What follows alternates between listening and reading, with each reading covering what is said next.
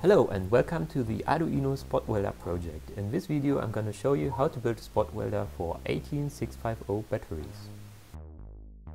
The first prototype I made without a real PCB, but as you can see on the backside it's a big mess with the wires. So I decided to make a real PCB and build it again to make a clean build. You can find the links to the parts list and the Eagle files in the description. Let's begin.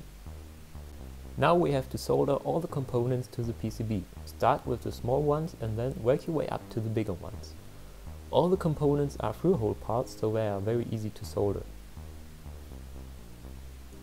When soldering the headers for the Arduino Nano, make sure to stick them to the Arduino first and then, with the Arduino attached, stick them to the PCB. Using this method you don't get alignment problems, so it's easy to stick them to the board and then you can just solder all the pins.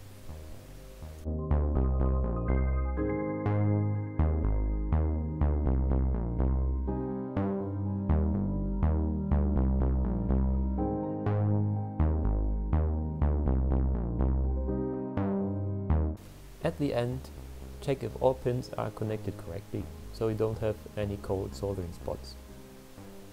In the last step, solder a power wire to the board. In my case, I choose a JST connector. The board takes an input voltage of about 7 to 12 volt, but it works best with 12 volt.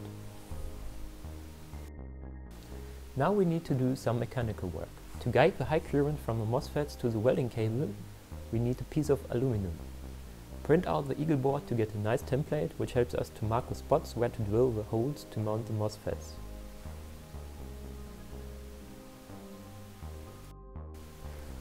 After cutting the template out, transfer it to a piece of aluminum so you can cut out the aluminum to the right shape.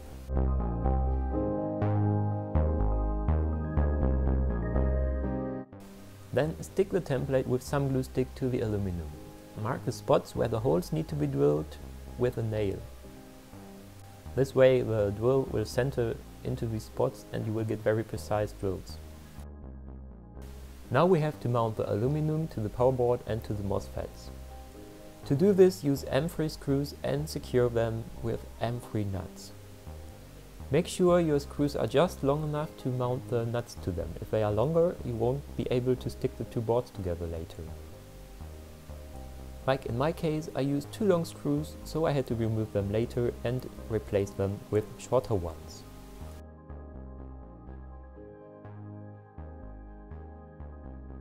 After tightening all the nuts, you can solder the pins of the MOSFETs. Because there is a little mistake in the first prototype design, there was soldering mask applied onto the traces between the main power lines and the MOSFET pins. I had to remove the solder mask to get solder onto these lines to reinforce them. But this mistake is already corrected in the actual Eagle files. Add plenty of solder to it because there will be high currents going through these traces later. Now we can add the wire which will be connected to the battery's minus pole. This is a 16 square millimeter wire which I bent to a U-shape, tinted and then soldered it to the board.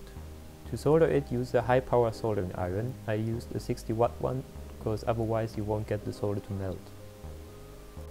While soldering it, push it down to the board with a screwdriver or something, so it lays flat onto the board and you get a good connection.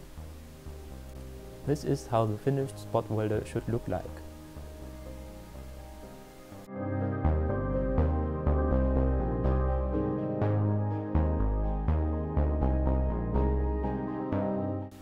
The welding tips are made of solid copper wire from a local hardware store. It's about 5 to 6 mm in diameter. Now after finishing the spot welder, let's do some test welds. For this connect the spot welder to the battery. The welder connects to the minus pole of the battery and the other probe connects to the plus pole of the battery. I've built a very simple foot switch for the welder, it's just made of a little bit of wood and a switch inside it.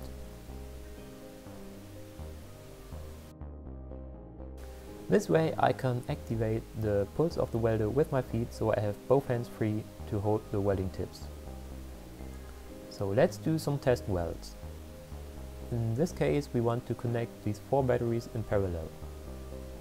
To connect them I use 0.17mm thick nickel strips. For this size of nickel strip a pulse time of 9 milliseconds turned out to get good results.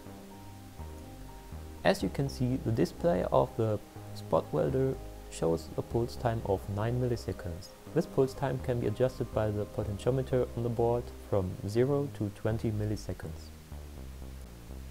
To weld, put the two tips as close together as possible and then push the foot switch. While welding, always wear safety glasses because there are some sparks at the tips.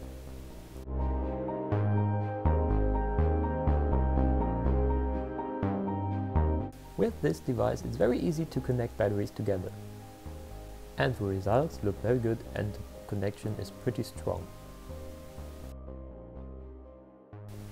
Even when using pliers it's very hard to pull the welding apart.